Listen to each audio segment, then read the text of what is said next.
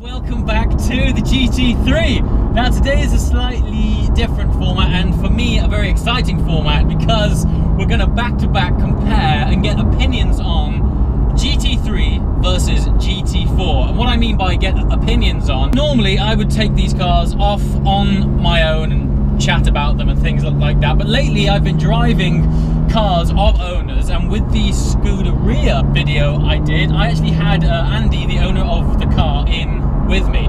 And it was actually really nice because, you know, no one knows these cars better than the owners. So, as much as I can give my opinion and thoughts across on these cars, and believe me, I will, uh, it'll be really nice to get the owner's take on it and also how he feels about how this car compares with his car.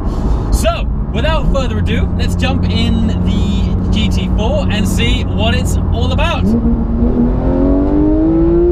Welcome to the GT4 and this fine gentleman in the passenger seat is Chris who is the owner of this car and just so happens to be a long-time friend of mine and today we're going to get your take and my take on both of these cars. I've only ever driven a GT4 in London so okay. it doesn't really class as driving one I don't think. This is a car that needs to be on these kind of roads. Absolutely. So how long have you had this for now man? Like, I've had it for coming up for 12 months. Yeah. Um, think I got it in about sort of September time last year. Yeah.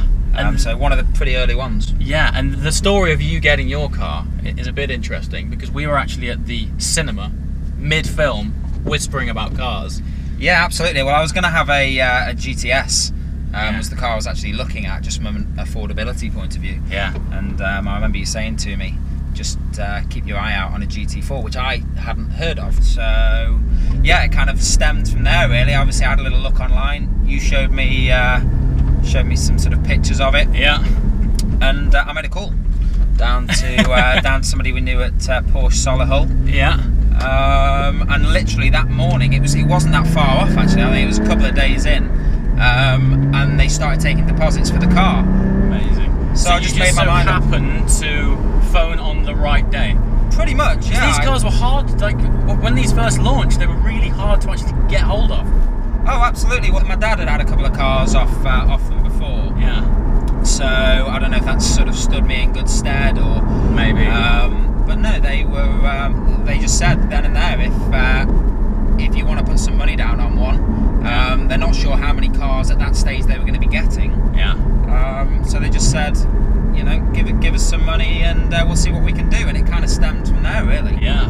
And you first wanted to order this car in blue, and they said no. They did say no. uh, so, but no, we ended we ended up in white, which is is kind of.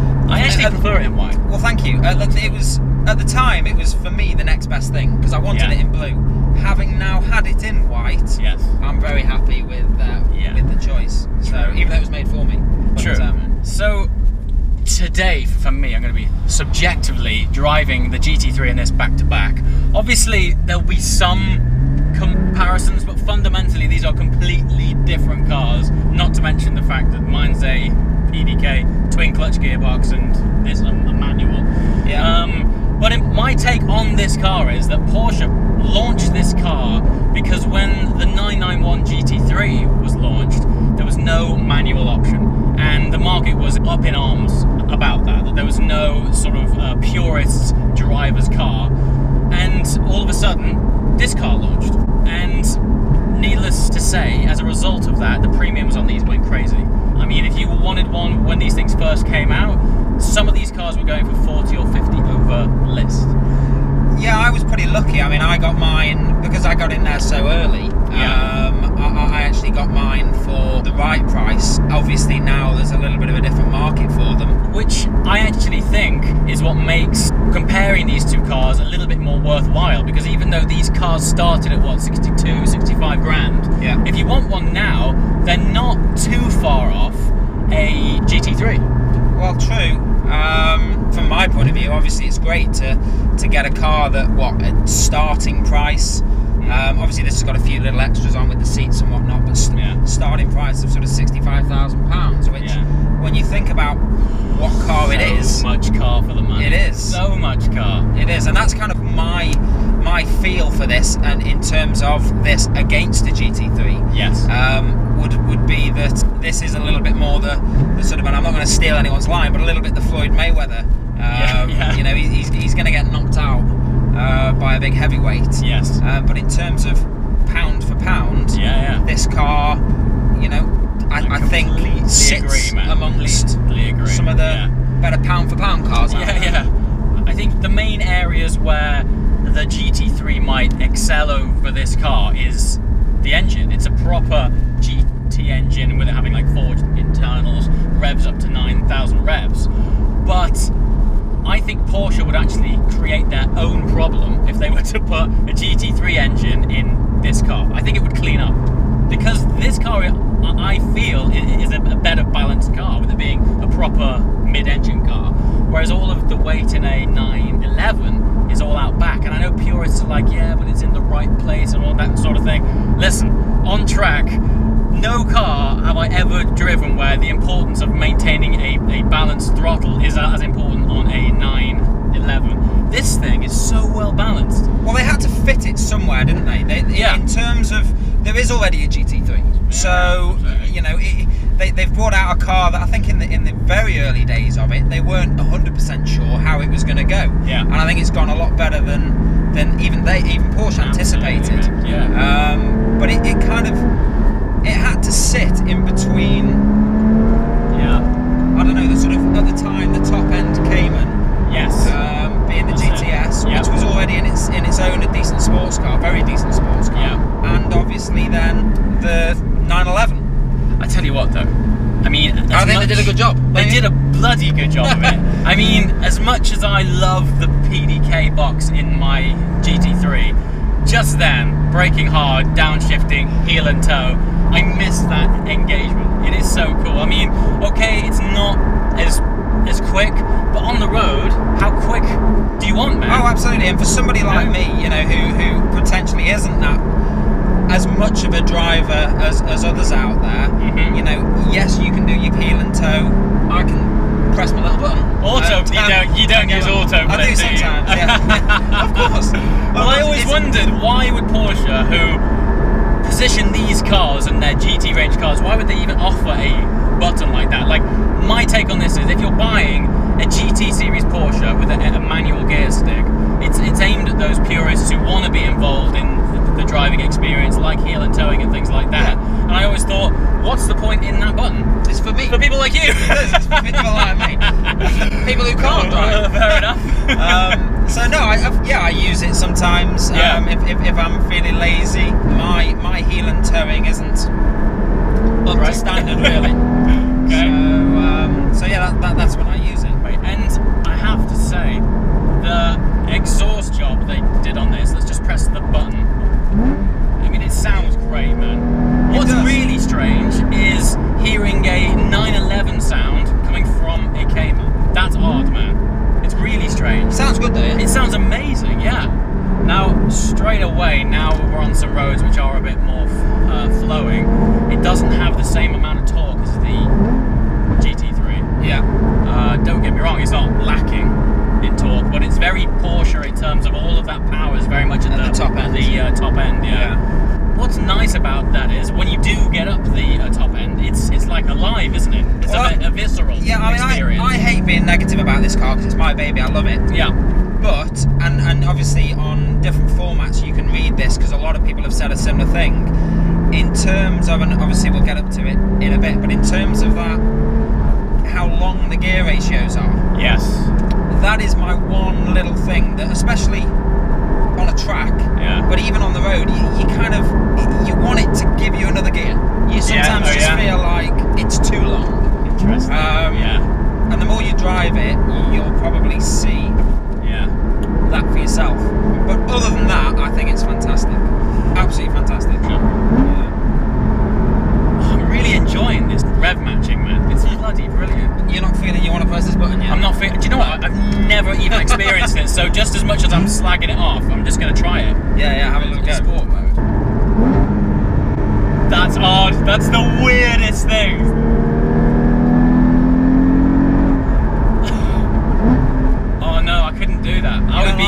be double rev matching all day long. That's, I mean, to be fair, in terms of how it does it, it's absolutely perfect. Doesn't it? Wow. Oh, yeah, it mad. well. What do you think of the actual manual itself? What, what you In, Let's turn that off because that's annoying. You're not, you're not liking that.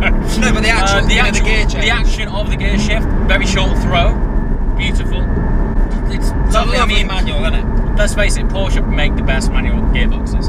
Um, the 997 GT3 was, in my opinion, probably the last great manual gearbox. Rumour has it that Porsche are launching the, the generation 2 of my GT3 with the option to buy it as a manual car Oh, right, okay. time will tell. And let's not class the 911R because in England there's 25 of them. You pretty much had to be a 918 owner to get invited, and they're now about 400 grand. so, let's not not class that. But in terms of an accessible, you know, focused Porsche with a manual stick, this is it, man. And it's great. Let's see if we can just get some acceleration on this car. Okay, so starting in first, okay.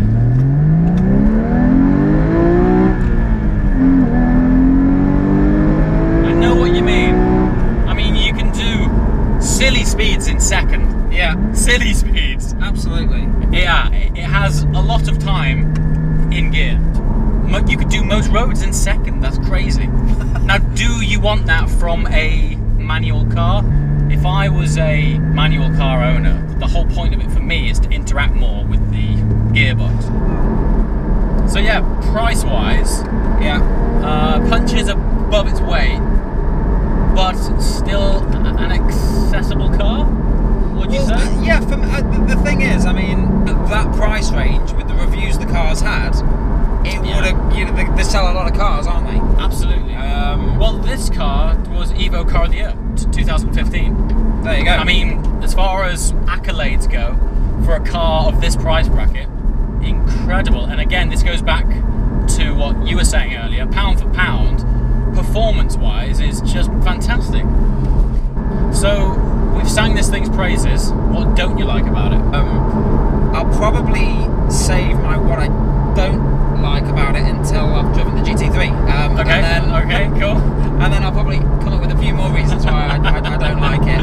Um, Okay, so we're back in my GT3. This format video is a little bit different than normal. I thought it would be more interesting to get a non-GT4 owner driving the GT4 and experiencing that, and a GT4 owner driving a GT3 and experiencing, in his words, the difference in cars. Because it's all well and good me talking good about my car, you talking good about your car, but I think it's easier to, to compare something when you notice a much more of a uh, tangible difference. well, firstly, you did pretty well with the uh, intro there. That was Cheers. a bit of a tongue twister. Hey. GT4, 3, I, I was confused.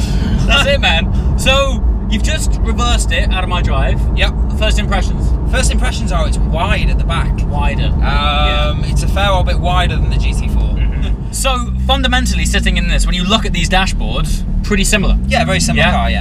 Um, obviously, you're now controlling gears either from here. You can either knock this thing left like that, uh, down is up, up is down. Okay. Um, which is more of a That race car layout. In a sort of uh, new cup car, uh, you would slam it down, pushing it forwards towards the uh, car. So I think that's why they've done that.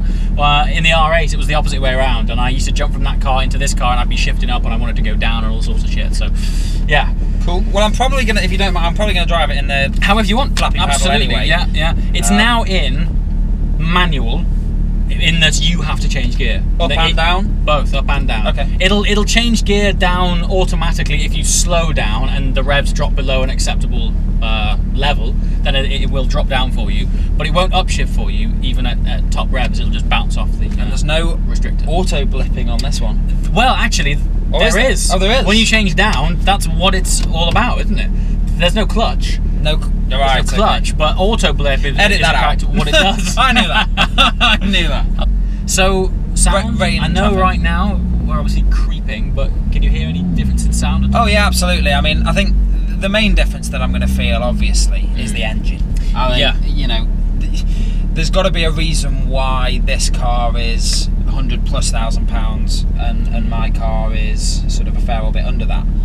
Um, so, and and one assumes engine has a lot to play in that.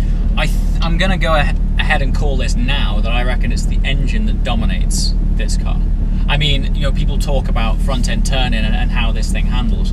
The Cayman's a fantastic thing. I mean, again, I know you were complaining that the front end on the, the Cayman is a bit soft. Yeah. But you can tweak that, and people I know who have done it uh, say that, that that front end is just as good as this. So I'm not going to say handling is the sort of defining feature of this car. I'm going to call it now and say engine. Yeah. Okay. And you haven't even driven it yet. so the blue looks great, man. thanks. Yeah, it's I love, I love the It's blue. different, isn't it? It is. Yeah, It. It, it was ice silver, and funnily enough, I bought it in ice silver because it, I thought it was the best color for that car. Um, and then I had it wrapped, and now I'm absolutely in love with this. So, Okay. Well, it sounds better. so how do you think about this so far? Um, in terms of the sound, obviously you've had a bit of an upgrade on I have, it. yeah. So that's not fair. It- it? it's not fair, but I will say on the inside, it's not a huge difference from stock. Be afraid to rev it out. It is like yours in that it'll rev for days. Oh wow, yeah. It feels far. How good? Probably chunkier is probably a good Yeah? word. Yeah. Wow, it sounds pretty good. Yeah. Steering weight, Steering weight, slightly heavier. it is heavier. Yeah. It's a bit, right? And, and torque. What do you think about that? Yeah, it's much more torquey. I mean, bear in Yeah. mind, I, I just stuck in fourth gear there. Right. Uh, whereas Okay. with mine, I would have known. I mean, even still, this still does have a bit of the characteristics of your engine in that it does benefit from dropping it an extra gear. Um, but no, it definitely does feel like it's a bit more thicker with uh, torque. All right, let's see it.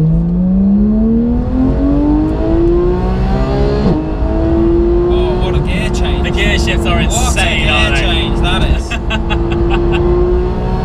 wow, wow, It's an wow. amazing shift. That's a fantastic. It's gear like a change. tone change, isn't it? It's absolutely It is. instant. It is. But sh- do you know what? I still feel like a little tap in the back when you shift. Like it's not completely seamless, so it's not devoid of any feeling, but it is bloody fast. Like that shift is It instantaneous. was. It was surprisingly quick, Right? actually. Yeah. I suppose what for you and I, both of us having gone for slightly different cars, Mhm. we're going to look at it from slightly different angles. From, from a point of view of, I'm looking, would I spend the extra money Mhm. on this, um, versus potentially you looking at whether or not having the other one is is kind of worth the saving. Sure. Almost. Absolutely. Yeah. Well, it works. I mean, if you can afford one of these, one assumes people would have one of these. I think so. what would drag somebody back to a GT4 potentially Yeah. is the manual. Well, that's I, I I think that is the defining feature of that car is the fact that it is a proper manual sport. And okay, the last generation of this car is manual, Yeah. um, but you can't get this in manual. So You mentioned in your car that you'll tell me during driving this car what you didn't like about the GT4. what I you know didn't what? like As a passenger, it feels faster. it is faster. I mean, you can faster. tell that from driving. No, but I mean, it, my own car feels faster than when I'm normally driving it. Oh, right, Yeah. okay. Mad. Anyway, sorry. Yeah, stuff that stuff that you don't like about the Cayman. About the Cayman. Yeah. There's a couple of things that I, I don't like about all of the Porsches across. I mean, yours has got exactly the same. Yeah. Um, I know what the Turbo. S has got exactly. What am I going to say? Go on, you tell me. Handbrake. Handbrake. Yeah. I, or I can't or get lack it, of handbrake. Well, I can't get it right. Button brake. I don't think I've ever got it right, James. Well, I never know whether to push it or pull it or pull it. Or, I know. I don't know the amount of times I get in, and it- it's normally when I'm in between doing something. I'll have jumped out of the car to do something quickly. Normally stick a camera on the roof, or so I jump back in and I'm like, pull it, and it puts it on. Push it, and it turns it on. And I'm like, what are you doing? Well, it's funny that you knew what I was going to say before I even said it. Yeah. That's exactly what I do. Yeah, I don't know how many a pain in times I've ass. jumped in and out of the car, Yeah. but Is it just because we're idiots? I don't. I don't know. I'm glad I'm not the only one. you said it. You said it. Man. um, oh, it's much quicker. Yeah. Much quicker. Remind me again why I chose to have a manual car when this does this for me, especially with how lazy I am in terms of the. Do you know what's uh, funny though? You always want what you can't have. It's like, uh, you know, when I drove your car, I was like, oh, I really miss a manual box. Ooh, if some- there was a way of summarising because, as you mentioned earlier, quite rightly, really it is unfair to compare these things. Like doing a, a genuine versus between the, the GT4 and GT3 probably isn't fair. But now they're in this price realm where these and those aren't a million miles away. Away. What is the sort of defining feature? I think it will end up coming down to the PDK versus the manual Yeah, I think as so. to which one that individual wants to drive. I'm just looking back as to why I bought this car in the first place. Yeah. When I bought this car, the GT4 was out. I could have bought one. Right, okay. Right. My sort of experience with this goes much further back. Before the GT4 was launched, I got to fortunately drive one of these, a friend of mine's in Bahrain, right?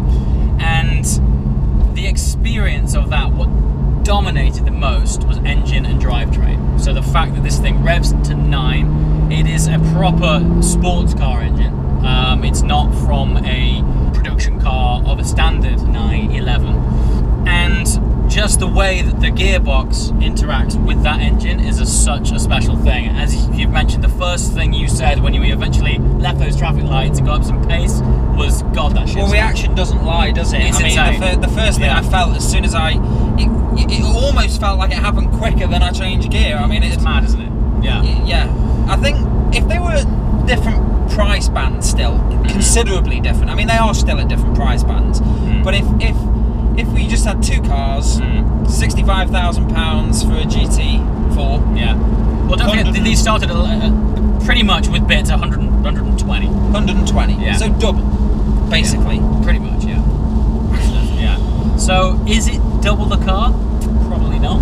Probably not Probably double not. the car. No. No. Um, can you tell that it is more of a car? Yes. Um, Is that worth 60 grand? Well, if you've got Depends it, on how much you- you've got. if uh, I think awful- this is it. Is this car the more desirable car? yes. And I think that ultimately comes down to it. Unless, of course, and Yeah. this is just me doing my little thing, sticking up for the GT4. Yeah. Unless you are such an enthusiast of a manual car, Yeah.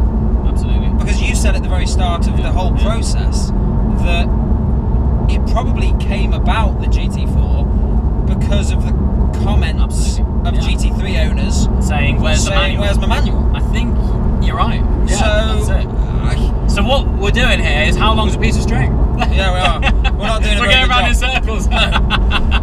But what's great about this is we can't really come to a solid conclusion. But bearing in mind that both this car and the GT4 have at some stage won Evo Car of the Year. they're good cars, aren't they? They're good cars. So either way, you can't go wrong. No. That's it. And I think it comes down to engine preference and you want manual or do you want PDK? Yeah. This this car has, without a shadow of a doubt, for me, even in a very short period of time of driving it, Yeah. proved its worth in terms of the the premium against a GT4. Right. Um, Interesting. but why why would Porsche, in any set of circumstances, create a car for half the price better than that. that somebody's going to jump in and think is better than the yeah, totally. that they're not? Anyway, guys, that's our irrelevant conclusion. As always, thanks for watching, and thanks to Chris for lending us a GT4 for the Pleasure. day. Thanks for watching, and I'll see you next time. Ciao. Bye.